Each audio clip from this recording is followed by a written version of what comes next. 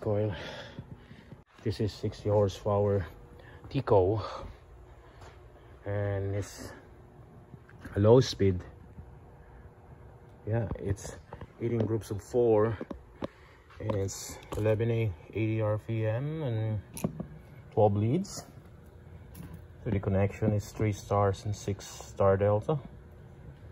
This is my 13 hours working on this motor. So you see it's saturday today so yeah i'm gonna beat up myself a little bit for this job because I got some here waiting at Toshiba. I think this is 300 horsepower or 200 horsepower. I don't know yet. Yeah, that's ready for slot liner installation and ready to go for rewind. Yeah, and maybe this one too. I need to cut and burn. And there's another 200 horsepower here for rewind waiting as Siemens. That's also for rewind.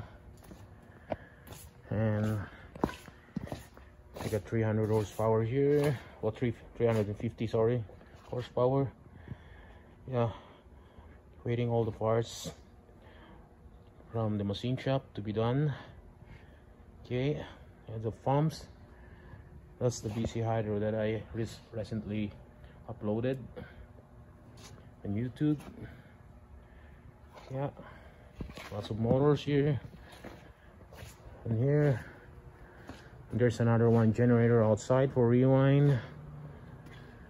Yeah. Top pump. I'm waiting for my parts. It's a 40 horsepower pump. Waiting for the seals. Hey. Yeah lots happening oh, ah, you know